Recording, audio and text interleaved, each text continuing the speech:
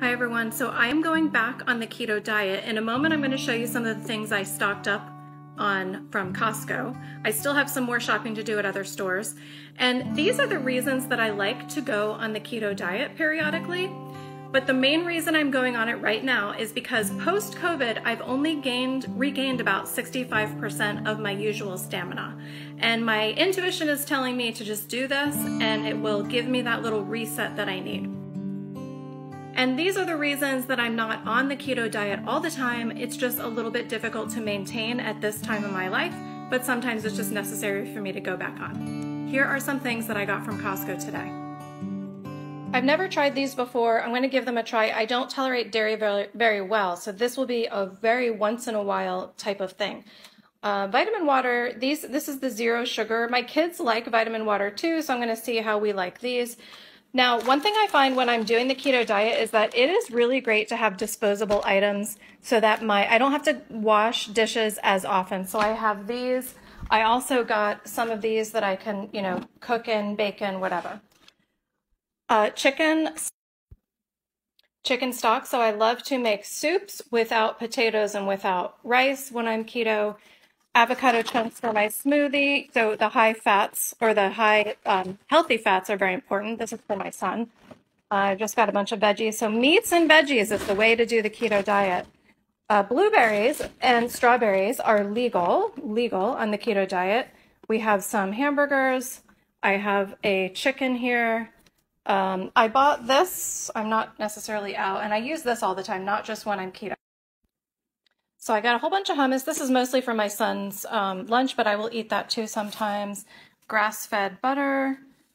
This is not keto, but I needed some toothpaste.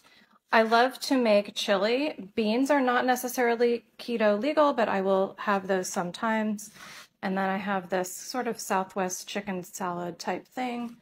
Um, some grass-fed beef from local farms in Florida.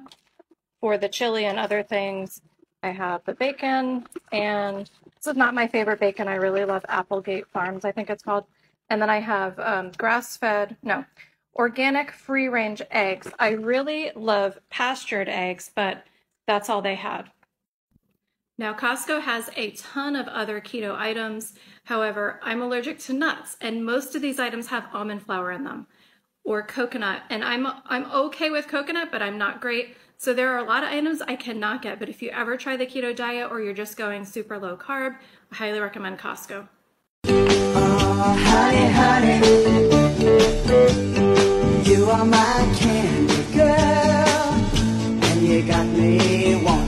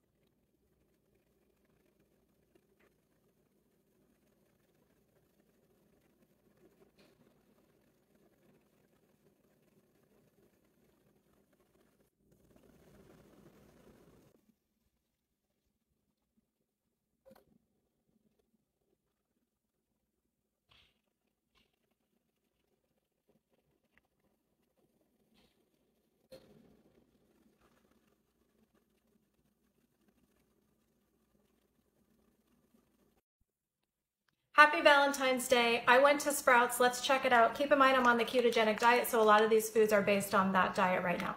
So I first I got this uh, ham that I'm going to cube to put in my egg meat cups, which I'm going to be making in a couple days. So stay tuned for that if you're interested in that. Organic riced cauliflower, frozen, riced broccoli, frozen. These are great for stir fries or just making little sides that are easy.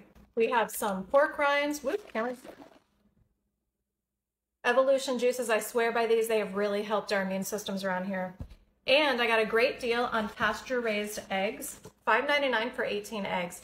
Pasture eggs, raised eggs, there is nothing like these. No other eggs compare as far as taste is concerned for me. Next we have Pitos.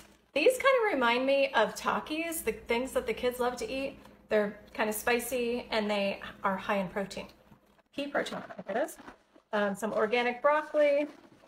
Tiger nut flour, I use this to make my low carb bread. I also have that recipe in a recent TikTok. This is actually not made from a nut.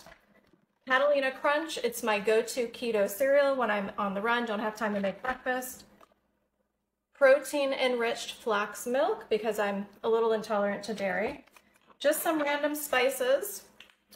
Um, that is it for my food. Now I got a few things for my kids for Valentine's Day. Some gummy worms that don't have any flavor, artificial ingredients, um, chocolate covered raisins, more chocolate covered raisins, and these little lollipops.